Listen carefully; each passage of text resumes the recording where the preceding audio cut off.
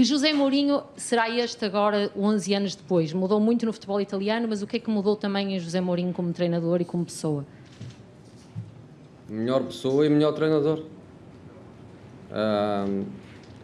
E acho que todos nós, enquanto pessoas, nos devemos sentir dessa, dessa maneira. Se os anos não nos fazem melhores, melhor pessoa e se os anos não nos fazem melhores eh, profissionais, alguma coisa está, alguma coisa está errada. Mais, mais maturidade, mas, mas ao mesmo tempo o, o DNA não muda.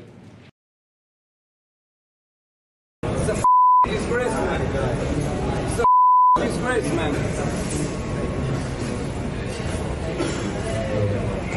Io Rossetti è stato capace di dire che non